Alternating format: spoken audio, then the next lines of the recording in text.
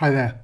Now for the next part, part D here, we're told that the line L2 passes through the point P and is parallel to the line L1. And we've got to find a vector equation for the line L2.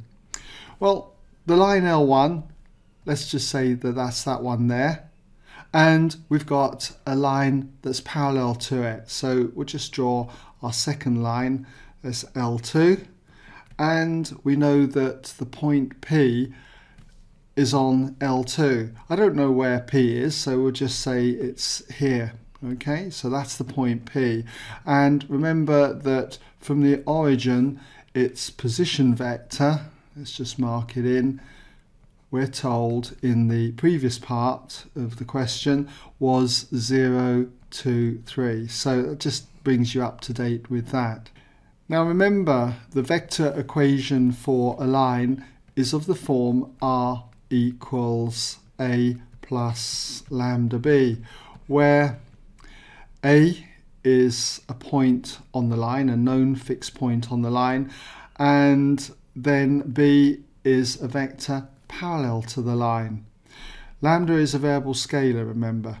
Now, where do we get our vector that is parallel to this line L2?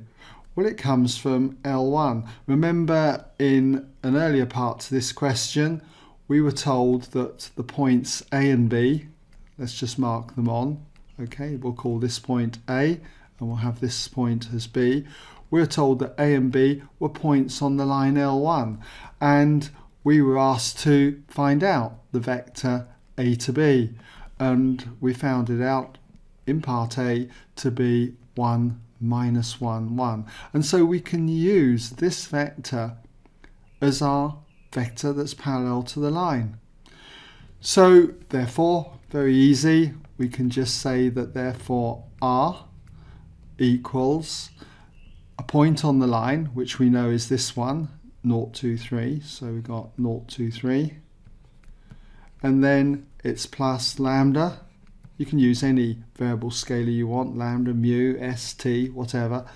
And then we need the direction vector, which is 1 minus 1, 1. Okay, or any multiple of that. It doesn't have to be 1 minus 1, 1. Okay, you could have the negative version of this if you wanted, or double it, 2 minus 2, 2. It's totally up to you, but I think that looks the best.